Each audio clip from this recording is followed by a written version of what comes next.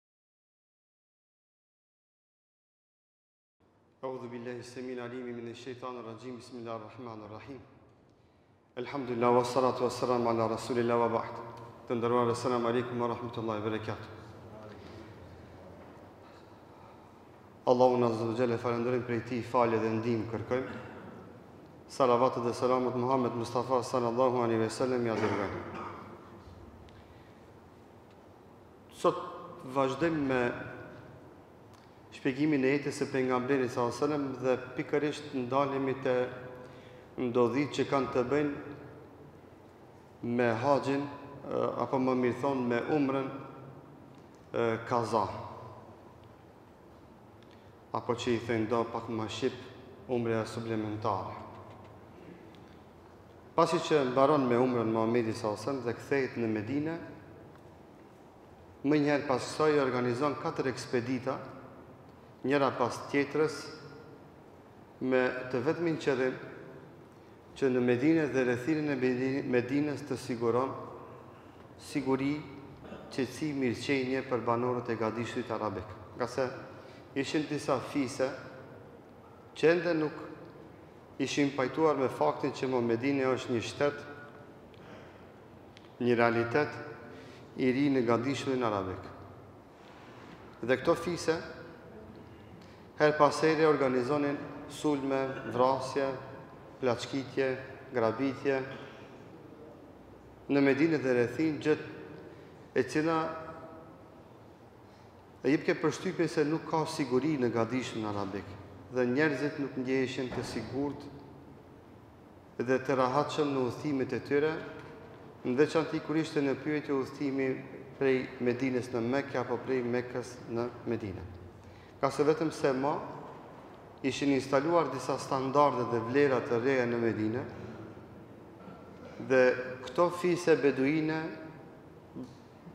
plaçkitëse, grabitëse, e prishin atë rend të ri i cili ishte i instaluar në gadishullin arabik. Dhe pikërisht synimi dhe qëllimi i këtyre ekspeditave ishte që ata njerëz t'i zbut, t'i afron kah e mira, kah e mbara dhe t'i thrret në islam. Andaj do ta vëreni se në këto organizime dhe në këto ekspedita, Muhamedi sallallahu alaihi wasallam misionin e parë që ua jep ekspeditave dhe bartësve të këtyre njerëzve ishte pikërisht urdhni i tij që njerëzit apo këto fise t'i thrasin së pari herë në Islam. Dhe gjatë gjithë këtyre takimeve e para që iu thuheshte këtyre ishte të pranojnë Islamin. dhe të e pranojnë të mirën, të mbarën, të e pranojnë paqen. E pastaj vazhdoheshte me me bisedime tjera për paqë, për mirëqenie dhe kështu me radhë. Ekspedita e parë e quajtur Ibni Ebil Auxha, ekspedita që Muhamedi sallallahu alaihi wasallam Ibni Ebil Auxhas ia dha 50 ushtar me vete apo 50 sahab me vete. Ky me 50 sahabët që i kishte me vete niset në drejtim të fisit të njohur Beni Selim, që ishte në periferi të Medinës, Dhe Ibni Ebil Auxha takohet me kryesuesin e fisit Beni Selim dhe ju thotë, Kemi ardhun që juve t'u thrasim me një mesazh, me një porosi të Muhamedit sallallahu alejhi ve sellem që të largoheni nga errësira të dilni me, të dilni në dritë, të largoheni nga mosbesimi dhe t'i ktheheni besimit në Allahun azza wa jall. Këta çka i thanë? La haxhete lena ilel islam. Thanë neve nuk na duhet islami. Thanë s'na duhet, s'dojna me, me pranu islamin. S'dojna m'u bo musliman. S'dojna m'u bo musliman, nuk dojna edhe me e pranu islamin. Pasi që mbaruan bisedimet, Fisi Beni Selim, Këtyre pesëdhjetë vetave ju vërsulet dhe nis një përleshje e një betejë, ku fatkeqësisht Ibni Ebil Auxha plagoset dhe përfundon kjo ekspeditë me një përleshje që kishte të plagosur nga dy palët dhe nga dy anët dhe pa ndonjë rezultat konkret në shikim të parë. Por realisht rezultatet vetëm se mo i jepnin frutet e veta nga këto beteja, ngase fisi Beni Selim e kuptoi se mo shteti islam në Medinë Ka organizim dhe ka sistematizim që nuk lejon mo trazira, plaçkitje dhe grabitje në rajon. Dhe subhanallah, Ibni Ebil Auxha shkon me 50 veta aq larg për t'u taku dhe ua prezenton atyre platformën islame, këtë fe dhe këtë din. Ata krahas faktit që nuk e pranojnë Islamin, shprehin edhe armiqësi edhe ndaj ndaj tyre. Por natyrisht sahabët radhiyallahu anhum e mbrojtën vetveten dhe u ballafaquan me ata dhe pse këta ishin udhëtarë prej larg, ata ishin vendali të asaj zone. Megjithatë, Allahu azza wa jalla i ruajti muslimanët nga sherri i këtyre fiseve të egra, Dhe Ibn Ibn Auxha i plagosur u kthye në Medine dhe mbaroi me kaq kjo ekspeditë. Por në vijim do të shohim se këto grupe kriminele ma nuk do të marrin guximin në të ardhmen kështu të sillen me Medinën dhe rrethinën e Medinës. Ekspedita e dytë që përmendet këtu është ekspedita Galib ibn Abdilah radiallahu anhu që e dërgon Muhamedi sallallahu alaihi wasallam dhe këtë ekspeditë e udhëheq Galib ibn Abdilah me qëllim hakmarrje me 200 ushtarë që i kishte me vete për plagosjen e Beshir ibn Sadit. që për vrasjen e Beshir ibn Sadit, që i pat ndodhë ma herët, që e patë bo fisi në Fedek, dhe kjo betejë përfundoi me fitoren e muslimanëve dhe ia arritën qëllimit që muslimanët e marrin hakmarrjen për vrasjen e Sadit radiallahu anhu. Ekspedita e tretë, ngase sot do t'i përmendmi katër ekspedita. Ekspedita e tretë është ekspedita ë ekspedita Dhatë Atlah, kështu përmendet në historinë islame, ë ndodhi si pasojë e faktit që njëra nga fiset e njohura Benu Kadaa në periferi të në periferi të Medinës, në largësi të Medinës, kishte mbledh me vete grupe të mdhaja beduinësh me të vetmin qëllim që të i hakmiren Muhamedit sallallahu alajhi wasallam dhe të i bëjnë dam. e shtetit islam, që në rajon dhe gadishullin Arabik, por edhe ma gjerësisht, të përhapen informata dhe lajme se ata që shkojnë në Medine dhe rrethinën e Medinës nuk ka siguri. e që njerëzit të largohen nga vizita e Medinës, nga shkuarja në Medinë, sepse dihej se gjithë ata që vijnë në Medine, edhe nëse vijnë për ndonjë punë tjetër, në fund do ta pranojnë Islamin, sepse ishte e pamundur dikush të sheh fytyrën e Muhamedit sallallahu alajhi wasallam të mos e pranon Islamin. Dhe ky organizimi i disa grupeve ma të vogla u bo u shndërru në një grup shumë të madh. U shndërru në një grup shumë të madh. Derisa Muhammedi s.a.s. e pa dhe e kuptoi rrezikun e këtij grupi, Muhammedi s.a.s.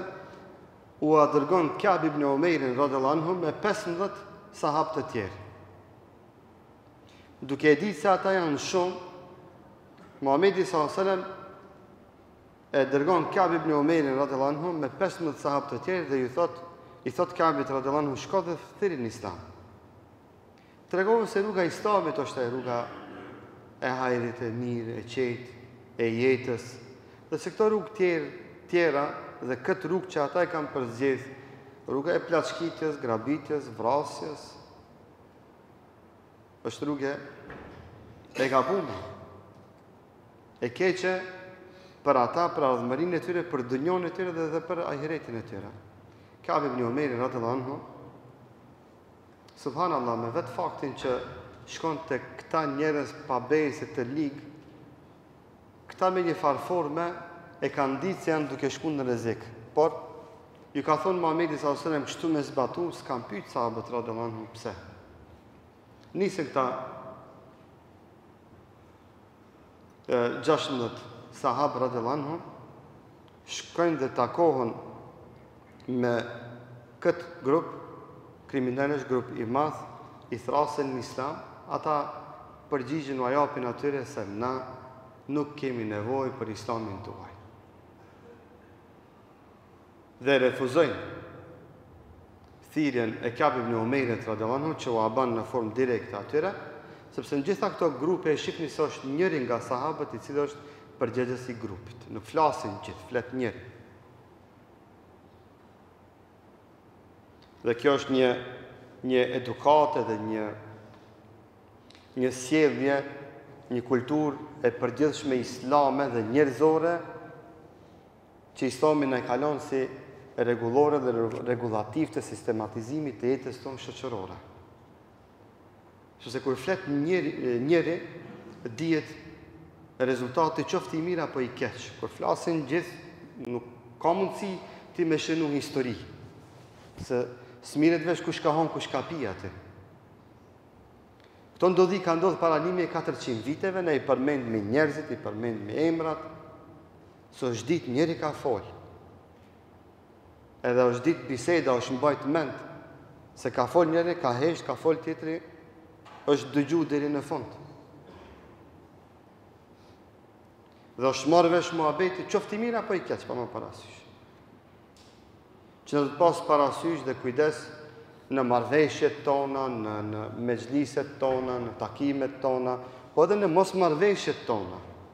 në hidhërimet tona kështu me radhë, pa marrë parasysh se janë dy palë, njëri flet prej njërës palë, tjetri flet nga pala tjetër. E që tjerët janë dëgjus, përcjellës, dhe nëse kanë nevojë me fol diçka folën me të parin e tyre, jo secili në vete. Dhe Galib ibn Omejr radijallahu anhu, takohet me gjithë këtë grup, por shifeni faktin nga ana tjetër se njëri ka fol me Galibin radhiyallahu anhu. Edhe pse kanë qenë beduene, kanë qenë kriminelë, vrasës, plaçkitës, grabitës, megjithatë një përfaqësues e kanë pas, edhe pse ky grup grupi Atlah që përmendet, apo ekspedita Atlah ka qenë grup i përbon prej shumë grupeve tjera. Që krejt që ato janë marrë vesh mes vete, një me e lon përpara dhe qaj njoni, i ka përfaqësu gjithë ato tjerë, edhe në të keqe kanë pas një farë, një farë rendi, kushtimisht thonë në, në këtë drejtim. Pasi që e refuzojnë islamin, tamam ata duan që të largohen, ky grup çka ban, I sulmon këta pesëmbëdhjetë sahabë radijallahu anhum, e vrasin Galib ibn Omejrin dhe i vrasin që të gjithë. Edhe njëri në mesin e të vramve, që ka qenë i plagosur, do thotë është tërhek duke menduar ata se gjithë kanë vdek, se edhe ka qenë i përgjakun dhe ai kthehet në Medinën e pejgamberit sa selam dhe e tregon ndodhinë se çfarë ndodhi në ekspeditën Atlah. A ka pas ndonjë ekspeditë tjetër e cila është marrë përsëri me këtë grup a jo, nuk e di nëse ndonjëherë na bjen me gjetë ndonjë informat të re rreth kësaj, atëherë ishalla edhe do ta paraqesmi përsëri para ju. Ekspedita e 4, ekspedita Dhatu Irk, kështu është e, e quajtur kjo ekspeditë,